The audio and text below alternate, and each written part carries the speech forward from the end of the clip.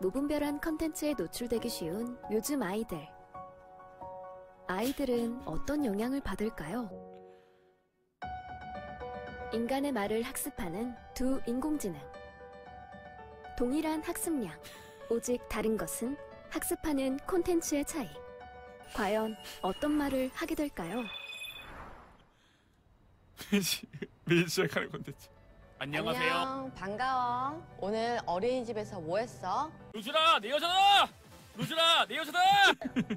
안녕, 반가워. 감 넘치는 몸매 세 오늘 유치원에서 뭐 했어? 자 여러분 써주세요.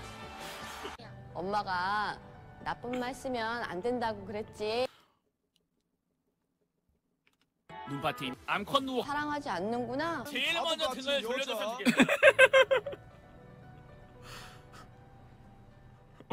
어, 어, 야 보내.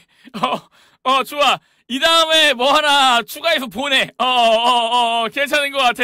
이 다음에 뭐 하나 추가해서 보내. 유튜브 오랜만에 올려야겠. 어, 어, 오케이, 오케이, 오케이, 오케이. 보내. 아, 괜찮아, 괜찮아. 이륙판공. 어, 합격, 합격, 합격, 합격, 합격, 합격, 합격, 합격. 어, 어, 합격, 합격. 예.